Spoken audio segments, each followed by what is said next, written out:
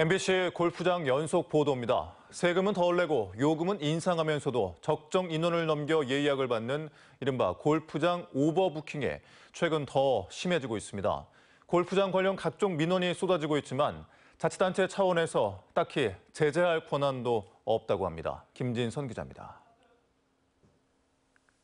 회원제에서 누구나 이용할 수 있는 대중제로 전환한 전남의 한 골프장. 코로나19가 시작된 지난해부터 2년 사이 요금을 세 차례 인상했습니다. 요금 인상은 정당한 조치라고 말합니다. 가격이 그렇게 수도권에 비해서 지금도 60% 수준밖에 안 되고 골프장을 제외한 나머지 골프장들은 지금도 아직도 그 위기의식을 가지고 운영을 하고 있다. 인근의 다른 골프장. 최근 대중제로 전환했지만 주변 대중제 골프장은 물론 다른 회원제 골프장의 비회원 요금보다도 10만 원가량 비쌉니다. 어, 너희 안 해도 이쪽 지역민들 비싸다고 안 해도 우리는 다른 데서 와서 그러니까 전혀 가격이 이렇게 낮춰지거나 그런 상황이 아닌 것 같더라고요. 골프장 이용료는 올렸지만 정작 서비스의 질은 더 낮아져 그야말로 횡포라는 말까지 나옵니다. 적정 인원보다 더 많은 인원을 예약에 끼워 넣는 오버부킹이 최근 더욱 늘어나면서 경기 시간은 지연되고 일몰로 경기를 할 수 없는 경우도 자주 발생하고 있습니다. 그 사람을 깨어을 필요하죠. 시간이 안 되는데도 시작 하면서 뭐 두 팀, 세 팀 밀려 있는 게 허다하니까 요즘에는.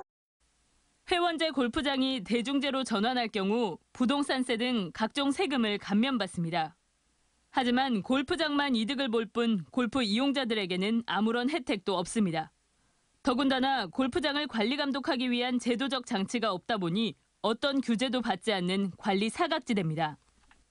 비싼 골프 요금과 음식 가격, 불친절한 서비스, 편법 예약 등 각종 민원이 잇따르고 있는 상황.